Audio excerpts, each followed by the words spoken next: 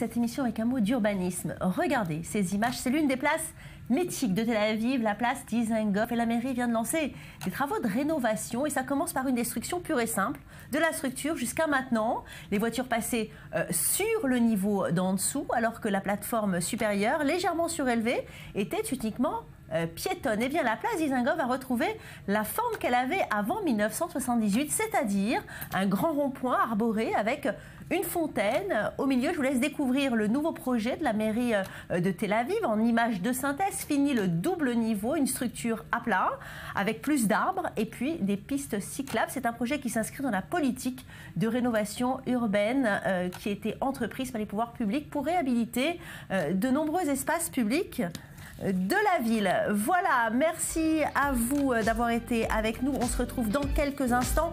Dans notre grand angle, nous parlerons de l'accès à la euh, nourriture. Restez là, je reviens dans quelques minutes.